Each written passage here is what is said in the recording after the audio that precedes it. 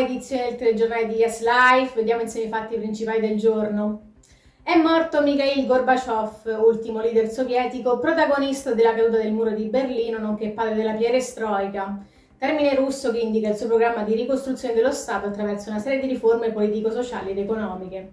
Aveva 91 anni ed era malato da tempo, ce ne parlava in Zagaglia.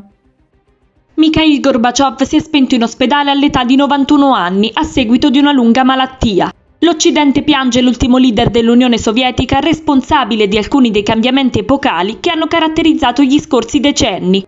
Il crollo del muro di Berlino, la fine della guerra fredda, il disarmo nucleare, il ritiro dall'Afghanistan. Questi meriti che i vertici occidentali riconoscono al politico russo.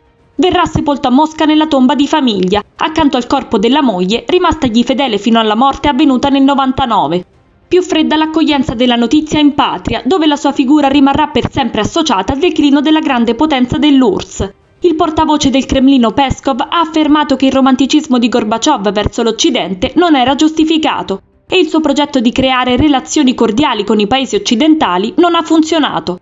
Diverso è stato il saluto di Joe Biden, leader americano, che lo ha definito un uomo raro e lungimirante.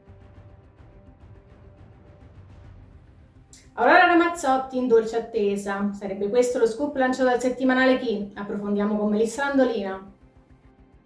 Aurora Ramazzotti sarebbe in dolce attesa. Il settimanale Kill lancia lo scoop. Dovrebbe diventare mamma il prossimo gennaio per la gioia del suo ormai storico fidanzato con cui convive a Milano il business analyst Goffredo Cerza.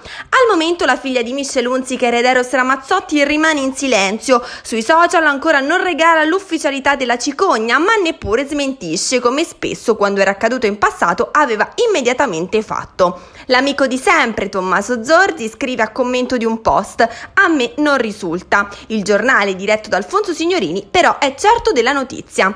Del resto, proprio chi aveva parlato di una possibile gravidanza dell'influencer e conduttrice già a inizio agosto, quando Aurora e la mamma erano state pizzicate ad acquistare un test di gravidanza in farmacia durante la vacanza in Sardegna. Il giornale si era chiesto a chi delle due servisse. Michelle, 45 anni, ed Eros, 58, potrebbero essere al settimo cielo. Hanno sempre desiderato diventare nonni da giovanissimi.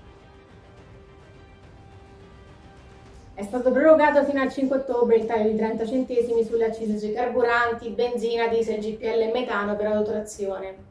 Sentiamo il servizio di Francesca Bloise.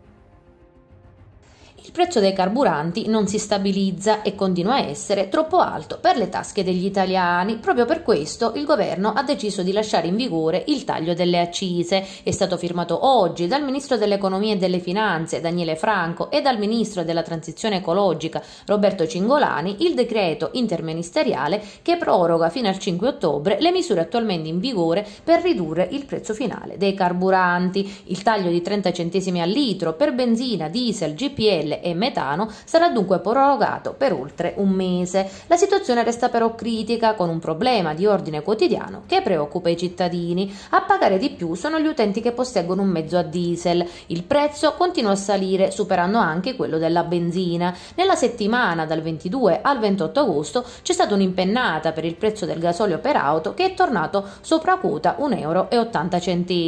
Cresce anche il costo del gasolio per il riscaldamento in aumento del 4,5%. 0,28%. Voto domiciliare previsto per i positivi in isolamento in Italia mentre la Cina torna in lockdown. Sentiamo gli ultimi aggiornamenti Covid con Valentina Trifiletti. Isolamento dei positivi, campagna vaccinale e mascherine. Il ministro della Salute Roberto Speranza, intervistato da Radio Capital, ha parlato della situazione legata alla pandemia e delle prospettive future, dopo la notizia di ieri delle nuove regole sull'isolamento dei positivi. Secondo Speranza i contagiati devono continuare a stare a casa, mentre sulle mascherine ci sarà da valutare l'andamento epidemiologico, ma la novità è che i positivi in isolamento potranno votare il 25 settembre con il voto domiciliare.